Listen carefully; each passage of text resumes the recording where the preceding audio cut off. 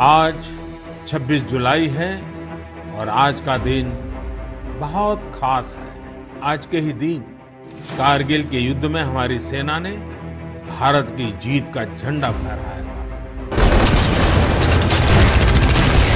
आप कल्पना कर सकते हैं, ऊँचे पहाड़ों पर बैठा हुआ दुश्मन और नीचे से लड़ रही हमारी सेना, हमारे वीर जवान। लेकिन जीत पहाड़ की ऊंचाई की नहीं भारत की सेनाओं के ऊँचे हौसले और सच्ची वीरता की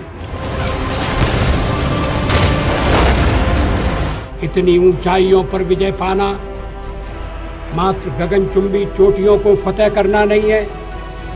ये देश की समूची शक्ति को दर्शाता है। हमारी सेनाओं के शौर्य का प्रतीक है।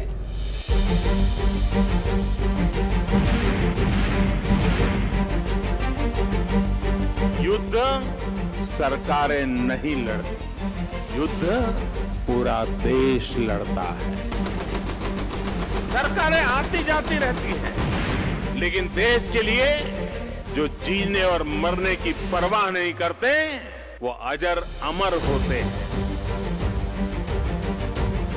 सैनिक आज के साथ ही आने वाली पीढ़ी के लिए अपना जीवन बलिदान करते हैं।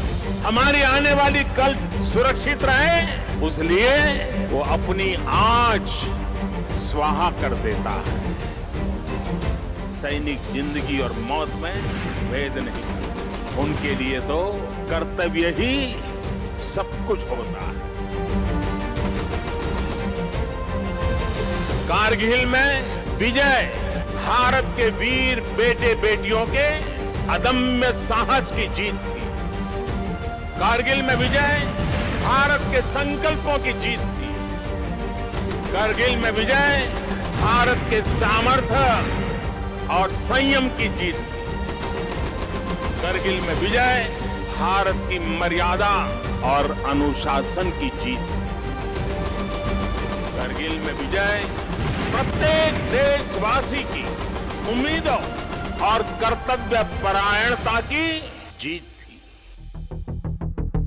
साथियों, कारगिल युद्ध के समय अटल जी ने लाल किले से जो कहा था, वो आज भी हम सभी के लिए बहुत प्रासंगिक है।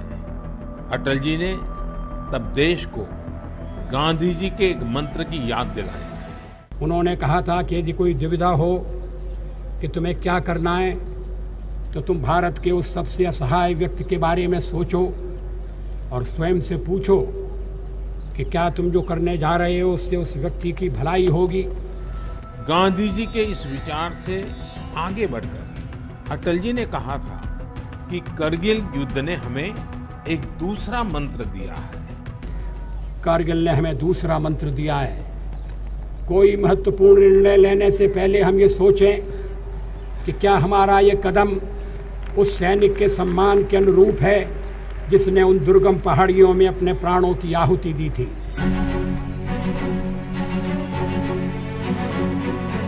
अपना रक्त बहाकर जिन्होंने सर्वस्व न्योछावर किया, उन शहीदों को, उनको जन्म देने वाली वीर माताओं को भी मैं नमन करता हूँ।